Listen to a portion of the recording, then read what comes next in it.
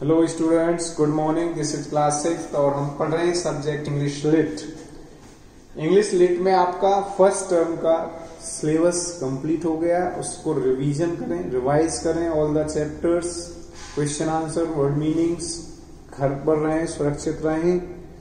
और आप सभी जानते हैं अनलॉक 1.0 आज से लागू है। इट मीन्स आज से जो बंदिशें लगाई हुई थी, वो खुल गई हैं और स्कूल रीओपन होने का टाइम भी फिक्स हो गया है। आई मीन मंथ फिक्स हो गया है। जुलाई में आपके स्कूल रीओपन होंगे।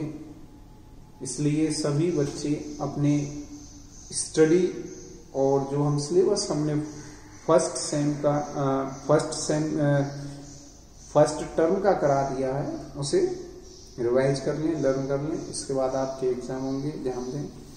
और आज हम इंग्लिश लिट में थर्ड लेसन देखेंगे change of flavour change of flavour change of flavour में वार्म अप सेशन में देखेंगे चेंज मीन्स होता है बदलना और फ्लेवर मीन्स स्वाद स्वाद का बदलना। Once emperor Jahangir took shelter in the house of a simple lady एक बार सम्राट जहांगीर टुक सेल्टर एक टुक शेल्टर शरण ली इन द हाउस एक घर में शरण ली ऑफ़ अ सिंपल लेडी एक सामान्य लैंड लेडी एक सामान्य जमींदार ने के घर पर उन्होंने एक बार शरण ली।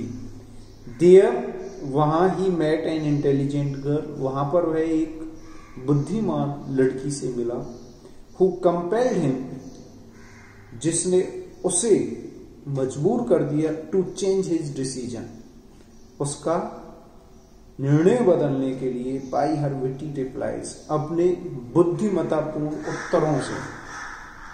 Let's read about this their story आओ हम उनकी इस कहानी को पढ़ें। Emperor Jahangir, one of the six Mughal emperors who ruled over India. Emperor Jahangir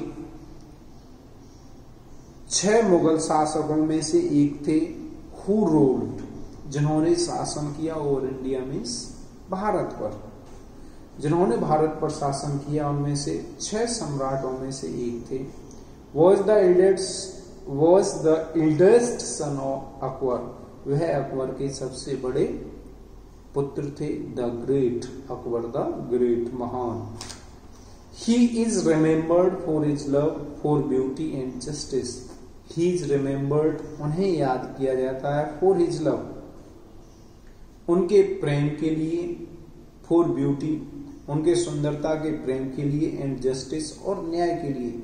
उन्हें उनके सुंदरता और न्याय के लिए याद किया जाता है। He had a big bell fixed on a golden chain hung at the gate of the royal palace. He had a big bell fixed. उन्होंने एक बहुत बड़ी घंटी लगाई हुई थी इट मीन्स टांग रखी थी ऑन अ गोल्डन चेन एक सोने की जंजीर में हंग एट द गेट दरवाजे पर ऑफ़ द रॉयल पैलेस राजसी जो दरवाज़ा था जो महल था, उसके दरवाजे पर उन्होंने सोने की जंजीर में एक बहुत बड़ी बहुत बड़ी घंटी लगाई हुई थी। Anyone who pulled the chain कोई भी उस चेन को खींचता वॉज़ हर्ड और वह सुनता and giving justice by him और उसके द्वारा उसे न्याय दिया जाता था। इस तरह का था उनका न्याय व्यवस्था।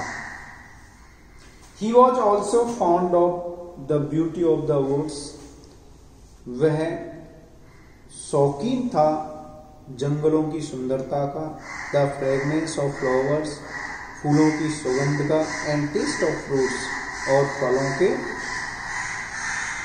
और फलों के स्वाद का often he would go out through its empire in a procession along with his ministers, courtiers and other attendants.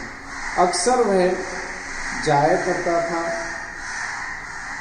अपने साम्राज्य में इट मीन्स अपने राज्य में इन अ प्रोसेशन एक जुलूस के साथ अलॉन्ग विद मिनिस्टर जिसमें उसके मंत्री होते थे, दरबारी होते थे एंड अदर अटेंडेंस और दूसरे सहयोगी होते थे। But on several occasions he would go out alone in disguise of a common man ना राइट द वर्ड मीनिंग ये आपको वर्ड मीनिंग लिखनी है और हमने आपको आज एक पैराग्राफ करा दिया है। इस वर्ड मीनिंगों को राइट करेंगे और read this chapter lesson third चल रहा है हमारा। इस लेसन को पढ़ेंगे सभी और अंडरलाइन द टिपिकल वर्ड्स ये आपका होमवर्क है। और आपका फ़र्स्ट हम फिर रिपीट कर रहा हूँ। जो आपका फ़र्स्ट टर्म के एग्ज़ाम से इट मीन सिलेबस था वो आपका कंप्लीट हो गया है। रिवाइज ऑल द सिलेबस आपको कंप्लीट सिलेबस रिवाइज करना है, जिससे आप आने वाले टाइम में जब भी आप स्कूल आए तो आपकी जो एजुकेशन है वो वीक ना रहे। आप क्लास में वीक ना रहे। Okay now write the word meanings और आई होप सभी ने अपनी फेयर नोटबुक्स कंप्लीट कर ली होंगी। जिन बच्चों ने नहीं की, वो आगे कर लें। Thank you